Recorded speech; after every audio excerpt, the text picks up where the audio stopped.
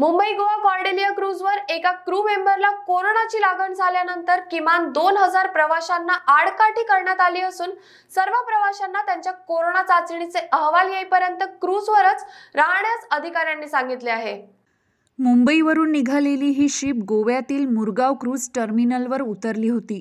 दरम्यान या क्रूजमधील क्रू मेंबरला कोरोनाचा संसर्ग झाला असल्याचं लक्षात येताच क्रूजवरील अधिकारी सर्व दोन हजार प्रवाशांची चाचणी घेत असून अधिकाऱ्यांनी त्यांच्या चाचणीचे अहवाल येईपर्यंत सर्व प्रवाशांना क्रूजवरच राहण्यास सांगितले आहे.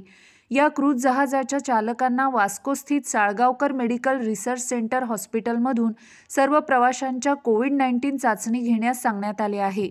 दरम्यान कोरोनाचा संसर्ग झालेल्या क्रू मेंबरला आयसोलेशनमध्ये ठेवण्यात आले आहे.